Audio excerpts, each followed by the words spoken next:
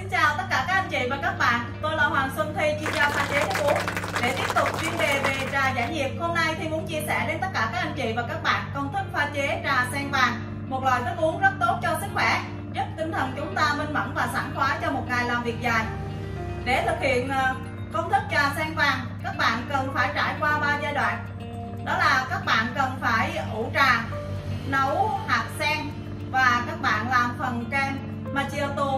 trang trí phần phía trên ly trà cũng giống như cái video trước Thi đã chia sẻ. À, Thi sẽ hướng dẫn các bạn à, làm kem chi, kem macchiato và phần kem tươi ở một video sau. Hôm nay Thi sẽ hướng dẫn các bạn cách ủ trà và à, nấu ha, hạt sen. À, đây là phần nguyên liệu được sử dụng cho phần nguyên liệu và để sử dụng cho món trà sen vàng hôm nay. À, Thi sử dụng ở đây là 30 g à, trà sen à, Thi sử dụng à, trà sen của Phúc Long nha các bạn. À, các bạn nhìn thấy đây nè nó có thêm cái tim sen với trà rất là thơm luôn. Nếu các bạn à, mua về và à, trực tiếp thì nghe rất thơm. Và 20 à, g trà đen lọc phát. À, đây là 50 500 g à, hạt sen. Lát nữa Thi sẽ hướng dẫn à, các bạn nấu cái phần hạt sen này. Bây giờ Thi sẽ hướng dẫn các bạn à, ủ trà trước nha. Cũng giống như mấy công thức ủ trà lúc trước Thi đã chia sẻ với các bạn à, chúng ta sẽ sử dụng cái à, à, trà này bỏ vào trong túi lọc sau đó thì cho vào bình ủ. À, với 50g à, trà này thì Thi sẽ ủ với lại à, 1,5 lít nước và ủ trong vòng 20 phút. Giờ Thi sẽ cho cái phần à, trà à, Thi đã trộn trước rồi nha. Cho vào trong à, túi lọc này. Các bạn cột miệng túi lại các bạn lưu ý là bữa sau mua cái túi à, nó có cái dây rút luôn nha. Tại lúc đầu thì mua không có hàng nên thì phải mua cái túi này nên chúng ta cột nếu sau mà có cái sợi dây rút thì chúng ta chỉ cần rút lại thôi nó rất là tiện lợi luôn. Giờ thì cho vào trong à, à bình ủ và cho vào đây à, 1,5 lít nước sôi các bạn cũng ủ à, à trong vòng 20 phút. Trong thời gian à, chờ ủ trà thì Thúy hướng dẫn các bạn nấu à, hạt sen nha.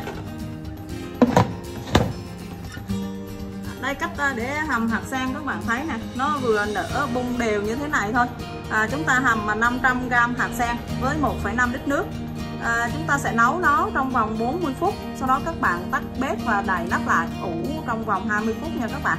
Sau khi ủ 20 phút thì các bạn vớt cái hạt sen ra và chúng ta cho vào trong cái à, nước mà mình nấu hạt sen lúc nãy giờ đó là 200g đường. Thì chúng ta sẽ được cái hạt sen và nước đường như thế này à, lát nữa à, sau khi ủ trà xong thì Thi sẽ hướng dẫn các bạn cách để co một cái ly à, 700ml à, ngon miệng. Đủ 20 phút thì chúng ta sẽ tiến hành à, vớt túi lọc trà ra các bạn.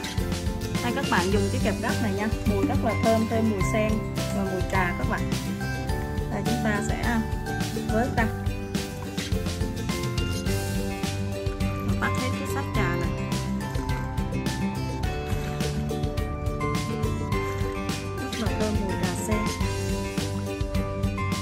Khi vớt trà ra thì chúng ta sẽ cho vào đây là à, 3,5 ml muối ăn và 0,5 à, kg đá để khuấy lên.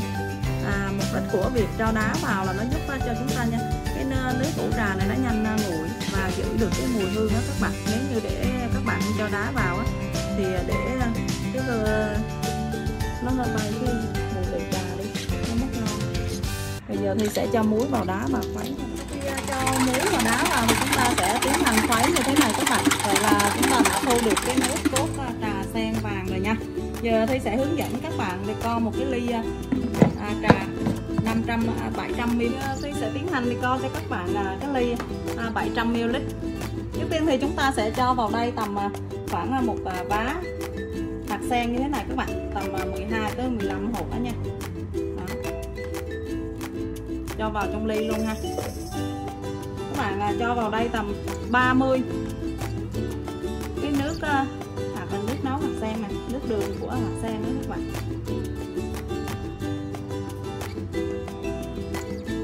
Đó, chúng ta cho vào ly luôn. Sử dụng 140 ml nước cốt trà.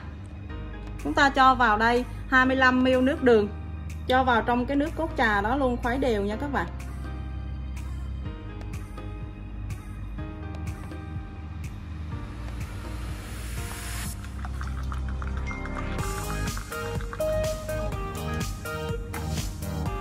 thì chúng ta cho đá vào ngang miệng ly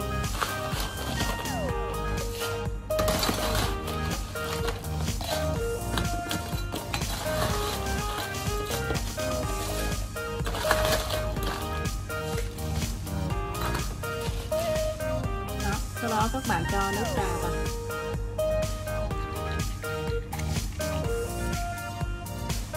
Rồi các bạn cho cái phần à, kem macchiato này lên trên mặt nhé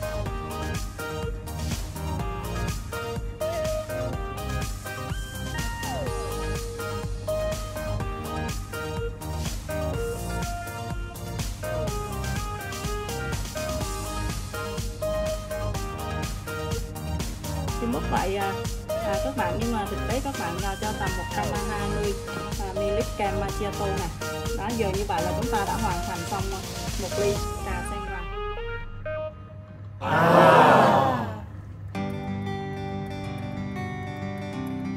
tôi đã chia sẻ cho tất cả các bạn công thức nấu trà sen vàng. Nó đơn giản và dễ làm thôi các bạn. Các bạn à, sau khi thưởng thức ly trà thì sẽ cảm nhận được vị à, béo của à, macchiato vị à, ngọt thơm của trà và à, vị à, béo mùi của hạt sen.